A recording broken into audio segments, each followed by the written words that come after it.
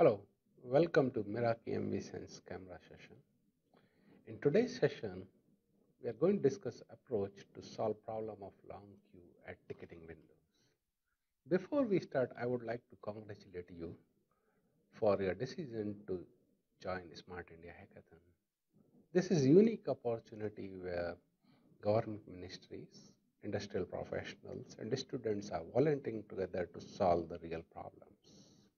This is like a Triveni Sangam where three forces are joining together to make India smarter.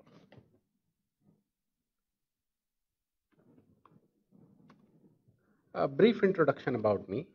I am Neelesh Pateriya. I am technical leader at Cisco's developer platform.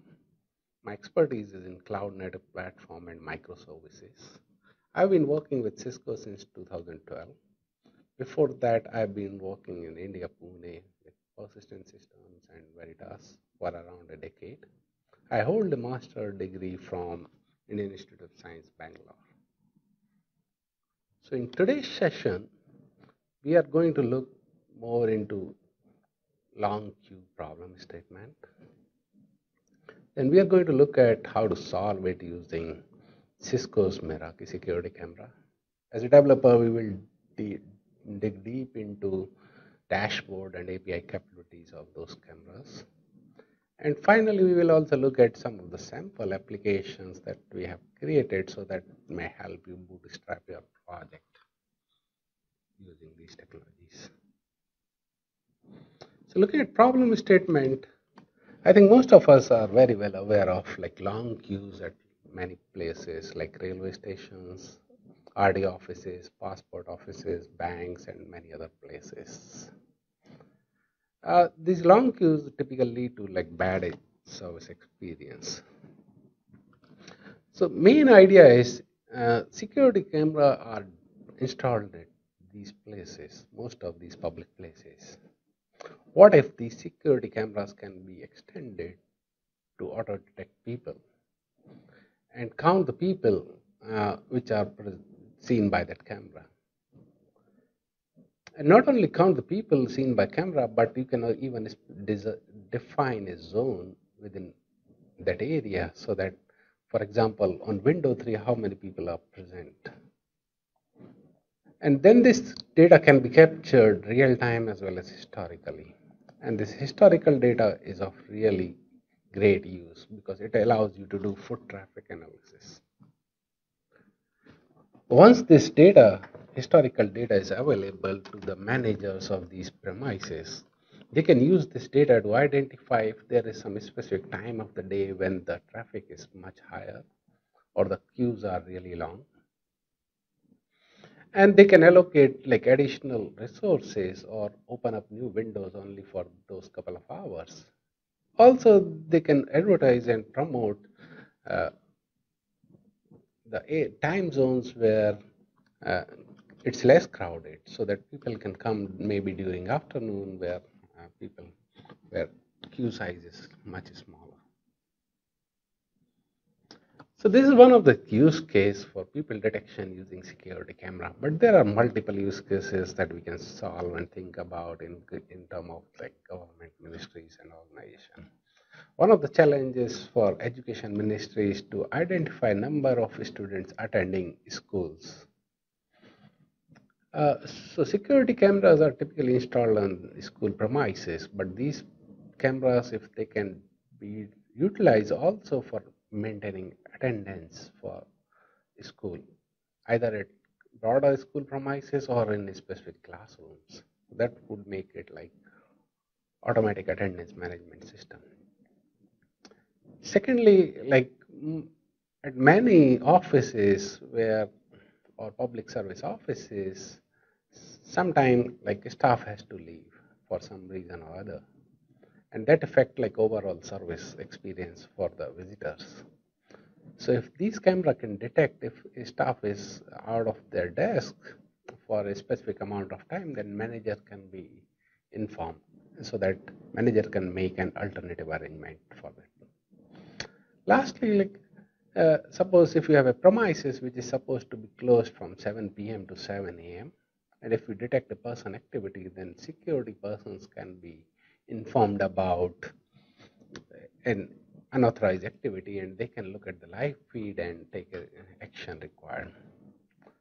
And these government also uh, organizes a lot of events and on those venues if we can count entrance and exit uh, count for the people that would help us to better manage uh, those events so we have looked at now we know that we have these people detection using security camera can help in a lot of scenarios. Now let's look at uh, some of the technology available to help you do this.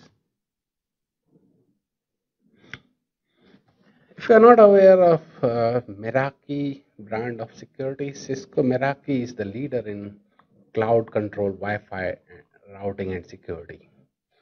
Uh, one of the key features, which a lot of people also call Meraki Magic, is centralized cloud management for these devices.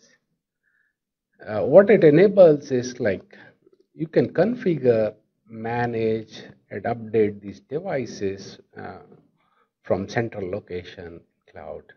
And there is no need to have expert in every on on premise where these devices are installed. Uh, which reduces like expertise requirement across a lot of places. And these devices uh, also include uh, very high grade solid state storage as well as powerful onboard processor.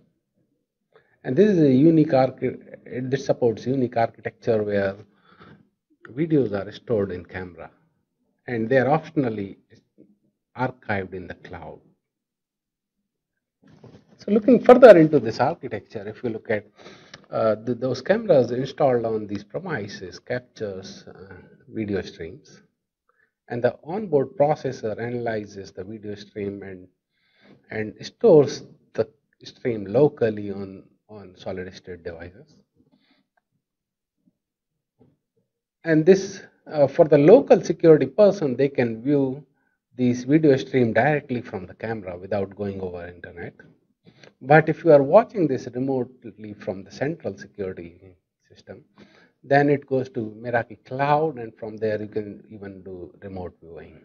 One of the advantages this approach gives is even if network is down, uh, your security stream is still recorded on camera. And transfer of the video stream is optimized over network. So it's uh, so Meraki MV series camera is not just about like monitoring and security stream, video stream, but it's also about additional feature that we can enable using the same security camera. One of the key feature it does is like object detection or person detection. So based on the powerful processor that is uh, installed on each of these camera, uh, these camera can analyze the live stream and can detect number of people or objects in, in, in as seen by a video stream. And based on that, it can do the people counting in camera itself. And also generate kind of heat map of traffic pattern that is seen by a specific camera. And since this, uh, we are more interested in analytics of people and not like actual person for the security reasons. So people are identified by IDs, not by their real names. So if you look from our dev development application point of view, uh, Meraki MV Sense cameras are capturing those video frames and they are analyzing using onboard processor. At the end, two key metrics that they capture is, is count of people and number of entrances. And those key metrics are exposed using multiple ways, uh, either REST APIs and MQTT based message queue. So REST API, you can get the current snapshot view, number of people present or seen by that camera. Or you can see historical view, how many people were present at yesterday at this point from say 1 p.m. to 2 p.m. And if you are if you want to implement an alerting solution, you would want to subscribe to real-time feed using MQTT protocol. So you subscribe to a feed from a specific camera and, and if you see a, a unexpected number of count, then you can raise an alert. So these are like high level features, but as a developer, we want to dig deep into next level and understand what are the capabilities uh, supported by dashboard and, and REST APIs. So let's look into it. So Meraki camera or other devices have a web-based dashboard. Uh, I have created a snapshot for these dashboards. So this is this is snapshot for the Cisco merchandise store where we have installed Meraki MV cameras. So in this we can see for most useful uh, feature for security personnel is a video wall where you can see feed, live feed from all the cameras as well as you can you can you have a timeline you can slide the time time window and see live feed for a specific time range. Uh, in addition to it, you, using the dashboard, you can see how the people detection is working, and you can again slide the window and see how many people were detected by camera. And since this this uses machine learning, the uh, detection process keeps on improving over period of time. And finally, like the two key metrics that is captured by these cameras, the people count and total entrances are stored uh, in Meraki Cloud. And the basic dashboard allows you to see a number of people who are present at a specific hour or number of people who entered or exited that particular premises during that hour and it, you can also see a basic heat map of what are the areas where people are most visiting this particular store. And since uh, most of these cameras have like wide angle, uh, you may be interested in only monitoring a specific area. So Meraki MV camera also allows you to define zones so that you can monitor people count and and uh, entrances in a specific zone. For example, for this particular camera, we have defined three zones. First zone is for uh, to see uh, area where people can buy jackets and shirts.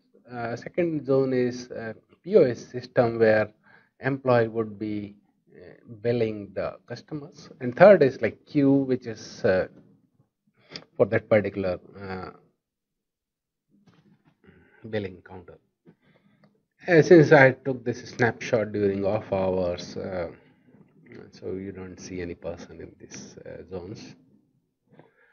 So that was dashboard, which is if if you have a very basic use case, then uh, that is most of the time that may be good enough. But if you are developing a custom application like that we discussed, you want to get the access to information using APIs so that you can do your own data analytics and and your build your own custom applications. So for that, uh, Meraki Camera exposes analytics APIs. So some it's a it's a very simple API uh, and few APIs that we can look at. Uh, so first API allows you to give overall overview of camera, which is like if you have defined five zones in a camera, uh, so it can tell you number of people seen by camera and each zone in a single view. Then you can also list number of zones defined in this particular camera. Then you can get the historical data or most recent data for a specific zone. So let's go, go and look at uh, individual APIs. So in this case, what we are looking at is the Postman, which is a REST API uh, client. Uh, I, I captured the snapshot for APIs for for saving some time. In this first thing, we are trying to um, analyze the overall view that is seen by this specific camera. So in this, there are two zones defined, and so zone zero is always like full camera, and these are the, the two zones defined, and and we can see entrances and average count for these uh, cameras, and what is the start time and end time time for this particular record. Uh, typically, it's a one minute record that you will see. The second is like for a specific zone, you can also uh, you can find the information, but for that you need to find out how many zones are defined in this camera. So in this case, we can see there are three zones that are defined for this particular camera. And then for a specific zone, so here you are providing camera serial ID and zone ID. And for that specific zone, you can see the historical information. So, so for every one minute period of time, you can see how many people were present and how many people entered in this particular zone. And you can see the historical data based on timestamp and and you can capture number of records that you want to get in each API call. And finally, you can also get uh, for a specific zone, what are the current values. So for example, this point in time, oh, how many people are present in this particular zone. So these are few sets of API that helps you uh, enable writing your custom applications. As you have seen, these are very basic APIs, but very powerful since most of the um, most of the heavyweight work is already done by the processor and the camera. So, so you, so for you, the two fields that is of interest is average count of people present and average number of people who entered that particular zone or camera. So those are like basic APIs which which can help you in building the solution, but uh, we have also built a couple of uh, simple apps that might help you bootstrap your project. Uh, so first application is Meraki Beat based data pipeline. So Meraki Beat, uh, Beat is a plugin framework uh, developed by Elasticsearch, Elastic company. This is an uh, open source framework uh, where you can build your own custom plugin for input or output. In this case, we build a custom plugin for Meraki. Uh, Meraki, we call it Meraki Beat. This plugin calls Meraki APIs. In this case, interest uh, our interest is in ca camera APIs. So it pulls the camera APIs uh, using Beats interface, and then that information is stored in Elasticsearch for longer term data analytics. So you can configure like a number of cameras and, and zones that that is of interest, and uh, it will keep polling those uh, those API endpoint and they start storing information in Elasticsearch. Elasticsearch is a data store typically used for uh, data analysis and storing like time series data and other data, which large amount, large data. And on top of it, like this project uses like Kibana, which is another open source project for visualization, and and you can create a dashboard to visualize your data so this is a custom dashboard or sample dashboard that we created using this pipeline for Cisco store. Uh, you can see like uh, for period of time, you can see overall traffic pattern, uh, how many people visited, how many people kind of like average number of people out there and on cash registers, what are the average queue size and what is the number of people entering and exiting uh, in that cash registers we defined multiple zones within the Cisco store and what are the traffic pattern, number of people entering, exiting those zones. So this gives you like uh, overall idea of how you can utilize uh, zoning and this counting feature for your custom application. Another, another uh, simple application that we have built is, uh, is based on MQTT message queue. Uh, this is notification and alerting system. So, so this application watches MQTT broker for set of cameras, and and this uh, this application get activated during off hours. For example, in Cisco store from 7 p.m. to 7 a.m. we do not expect any human activity out there so if we detect a human activity or if, if camera detects a person uh, uh, for a threshold period of time within that time duration, we raise an alert to our Cisco security system. So uh, it's a very small Python script. You can look at it. It's on GitHub. Uh, but it's a very powerful use case that can be supported in few lines of code. Uh, so these are additional resources. We have our own site which details, which have more details about SIH, how we are, how Cisco is supporting SIH, what are the problem statement that we have given for SIH, and uh, uh, these are other resources where we can find more detailed about Cisco, Meraki, MV Camera, uh, APIs, and some other applications. So I wish this. I hope this session is helpful to you and you will try and create a solution around around these problems and submit these in SIH. Uh, looking forward to your submission and all the best for your SIH submission. Thank you.